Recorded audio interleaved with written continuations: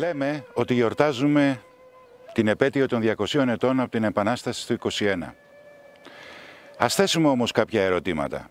Αλήθεια γνωρίζουμε τι γιορτάζουμε; Είμαστε βέβαιοι για το τι γνωρίζουν τα παιδιά μας; Πώς συνδέεται η εποχή μας με ό,τι συνέβη το 1821.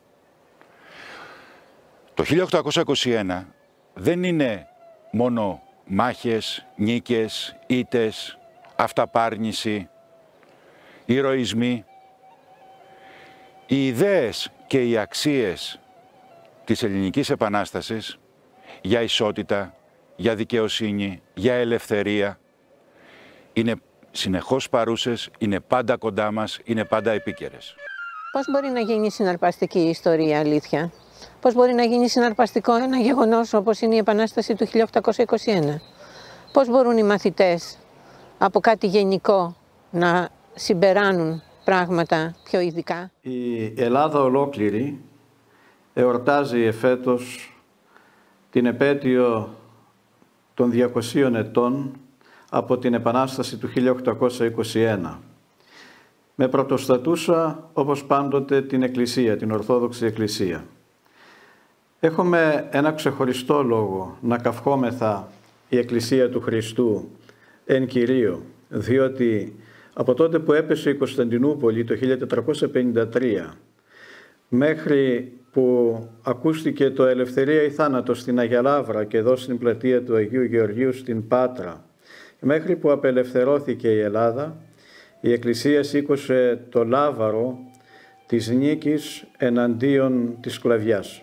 200 χρόνια μετά, εδώ, στη Δυτική Ελλάδα, στον τόπο που συνέβησαν σημαντικά γεγονότα, στον τόπο με τα ιστορικά καλάβρητα, με το ιστορικό, την ιερή πόλη του Μεσολογγίου, αλλά και πλήθος άλλων σημείων όπου έδρασαν καταλητικά στην Επανάσταση του 1821 και συνέβαλαν έτσι ώστε λίγα χρόνια αργότερα να έχουμε το πρώτο ανεξάρτητο ελληνικό κράτος.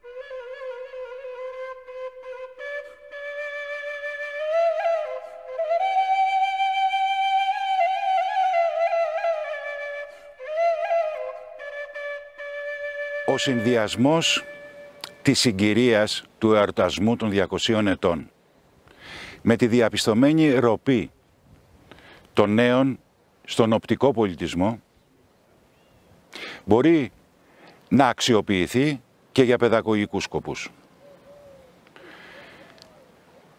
Το θέμα είναι αν μπορέσουμε να βοηθήσουμε τους μαθητές μας να φύγουν από την ε, τυπική, τη γεγονοτολογική γραφή ενός συμβατικού σχολικού εγχειριδίου και να δουν με ένα άλλο μάτι όλα όσα συνέβησαν και να δουν πτυχές της ιστορίας μας όπως η ενδυμασία ενός πολεμιστή. Ο ρόλος του δάσκαλου είναι να προσφέρει κάτι καινούριο σε μια ήδη αποκτηθήσα γνώση.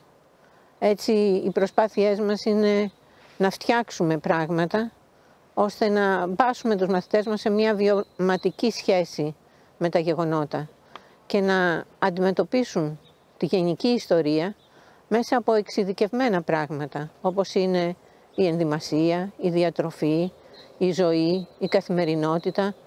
Αυτά ενισχύουν τα γεγονότα τα πολεμικά, τα οποία τις περισσότερες φορές δεν είναι τόσο ενδιαφέροντα από τους μαθητές. Η περιφέρεια Δυτικής Ελλάδας πολύ νωρίς προσπάθησε και κατάφερε τελικά να διοργανώσει καθ' όλη τη διάρκεια του έτους σημαντικές εκδηλώσεις στις οποίες πρωταγωνιστής είναι οι πολίτες της περιφέρειάς μας.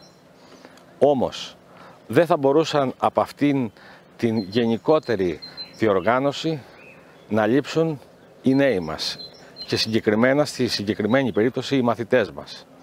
Απευθυνθήκαμε λοιπόν στις, στους φορείς της εκπαίδευσης, δηλαδή στα σχολεία μας, στα δημοτικά, στα γυμνάσια, στα λύκεια, στους εκπαιδευτικούς, που όλα αυτά τα χρόνια στην ουσία ασχολούνται και διδάσκουν καθημερινά την ιστορία μας, διδάσκουν τα γεγονότα της εποχής εκείνης, απευθυνθήκαμε λοιπόν στους ανθρώπους αυτούς και έχουμε σήμερα τη χαρά να ολοκληρώνεται και να είναι σε λειτουργία ένα πολύ σημαντικό εκπαιδευτικό πρόγραμμα.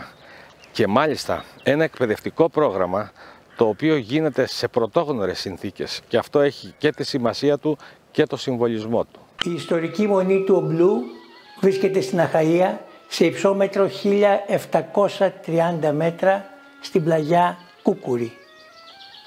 15 χιλιόμετρα μακριά από το κέντρο της Πάτρας. Είναι μια από τις ιστορικότερες μονές της σύγχρονης Ελλάδας και μπλέκεται σε όλα τα σημαντικά ιστορικά γεγονότα του σύγχρονου Είμαστε στο μοναστήρι του Ομπλού, είναι ένα ιστορικό μοναστήρι. Είναι από το 1315, μιλάμε για ένα μοναστήρι 706 ετών μέχρι σήμερα. Είναι ένα μοναστήρι αφιερωμένο στην Παναγία μας και συγκεκριμένα στα εισόδια της Παναγίας, δηλαδή γιορτάζει στις 21 Νοεμβρίου. Είναι ένα μοναστήρι που η αρχή του έγινε όταν μετά την Φραγκοκρατία ήρθε και πάλι ο Ορθόδοξος Μητροπολίτης εδώ στην Πάτρα, οπότε αυτό απετέλεσε την αφορμή να έρθουν τρεις πατέρες εδώ, στον τόπο αυτό, που ήταν ένα μικρό εκκλησάκι, με μια ωραία γλυκιά εικόνα της Παναγίας και να φτιάξουν τα πρώτα κτίσματα, δύο μικρά κελάκια και να εγκαταβιώσουν, όπως λέμε, να μείνουν σε αυτόν τον τόπο. Οι προύχοντες και οι οπλαρχικοί ήταν αυτοί που συγκεντρώνονταν στο μοναστήρι. Έτσι, στις 3 Μαρτίου του 1821 διαβάζουμε μέσα στον κώδικα της Μονής ότι έγινε συγκέντρωση των προκρήτων, σύναξη των προκρήτων, 3 Μαρτίου του 1821. Έτσι βλέπουμε ότι το μοναστήρι αποκτά ενεργό δράση στην Επανάσταση. Μια δράση που την κράτησε καθ' όλη τη διάρκεια μέχρι την απελευθέρωση μέχρι το 1828. Ωρε τρεις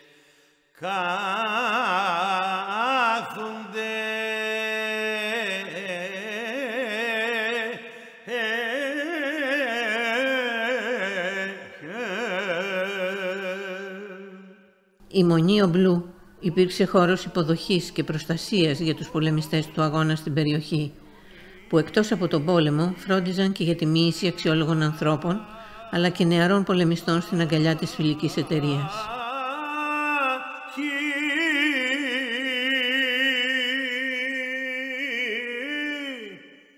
Ο καπετάνιος με τα παλικάρια του ήρθε αχάραγα στη Μονή έχει προετοιμάσει καιρό τώρα τον ψυχογειό του για τη μεγάλη μοίηση στη φιλική εταιρεία. Του έχει απόλυτη εμπιστοσύνη. Τον έχει κοντά του 18 χρόνια. Από τότε που τον βρήκε μωρό, νεογέννητος στο δάσος. Η πείνα, η απόγνωση, το κυνήγι των Τούρκων. Ποιος ξέρει τι οδήγησε τη δόλια μάνα του να τον εγκαταλείψει. Αυτός τον μεγάλωσε σαν γιο του, αφού δεν είχε δικά του παιδιά. Και να που σήμερα θα τον προσφέρει στην πατρίδα. Με ένα νεύμα του έφεραν τη φουστανέλα, δυο φύλλα, 400 λαγκιόλια, πολύπτυχη και ακόμα κατάλευκη.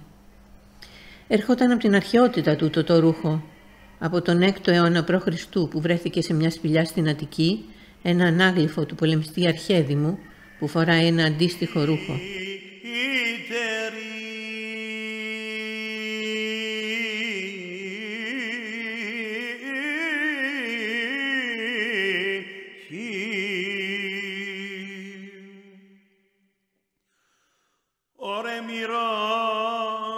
Το μαύρο ζωνάρι τυλίχτηκε γύρω από τη λεπτή μέση του αγοριού.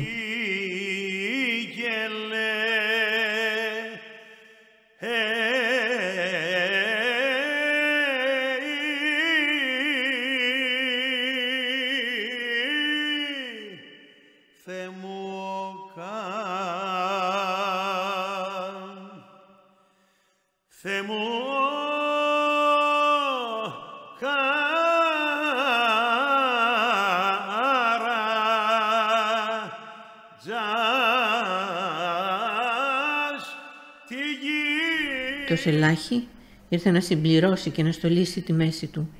Από φίνο δέρμα με κεντίδια έδωσε το μεγαλύτερο κύρος στη φορεσιά.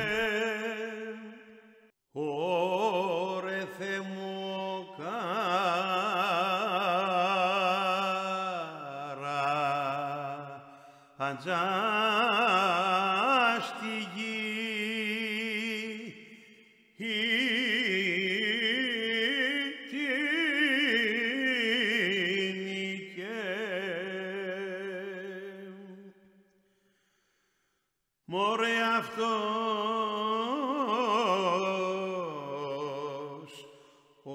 καπέτα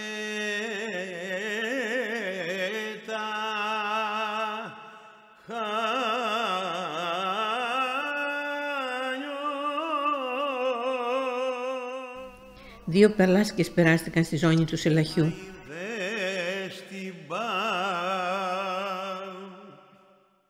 Η μία ιστορούσε τη Θεά Αθηνά, η άλλη τον Αγιώργη. Εκεί θα έβαζε τα φυσέκια και τα βόλια για το καριοφύλι. Του είχε και ντουλαμά ολοκέντητο με κόκκινη μεταξωτηφόδρα, μα θα του τον έδινε μετά. Συγκινημένος ο καπετάνιος πήρε τις δίδυμες κουμπούρες, παφίλια και λαβή παλαμοκατνισμένες. Τις φίλησε και τις έδωσε στο νεαρό. Τις φίλησε και αυτός με τη σειρά του και τις πέρασε στο σελάχι του.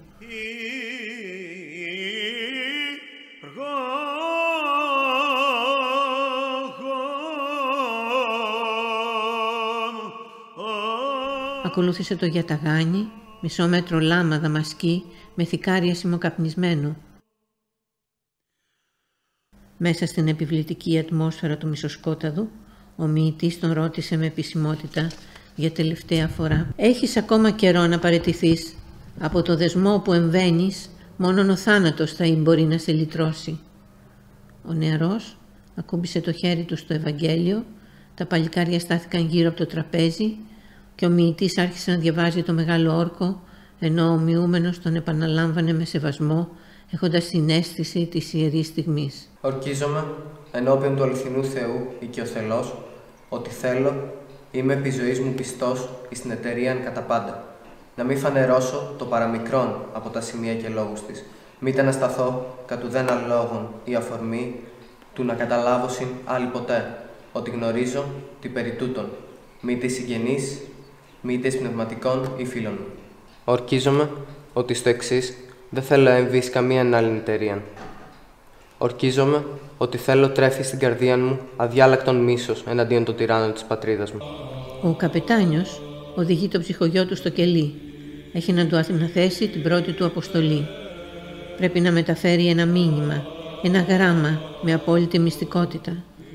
Το περιεχόμενο θα είναι κατανοητό μόνο από τον τελικό παραλήπτη, θα χρησιμοποιήσει το μεικτό κρυπτογραφικό αλφάβητο των 22 σημείων που χρησιμοποιούν μεταξύ τους τα μέλη της φιλικής εταιρείας στη μυστική τους επικοινωνία. Παίρνει ένα φύλλο χαρτιού, βουτάει την πένα από το φτερό κύκνου στο μελάνι και αρχίζει να γράφει. Βάζει στο κάτω μέρος την υπογραφή του, περιμένει να στεγνώσει το μελάνι, ενώ ο νεαρός παρακολουθεί με ενδιαφέρον. Διπλώνει το γράμμα με επιδέξιο τρόπο, περνάει το βουλοκαίρι από τη φλόγα του κεριού και στάζει κάμποσες σταγόνες στην Ένωση, ώστε να μην μπορεί να την ανοίξει κάποιος. Όσο είναι ζεστό το βουλοκαίρι, το σφραγίζει με τη σφραγίδα της φιλικής εταιρείας και το παραδίδει στο νεαρό, εξηγώντας του την αποστολή. Τον αποχαιρετάει χτυπώντας την πλάτη και ο νέος απομακρύνεται κοιτώντας προσεκτικά γύρω του.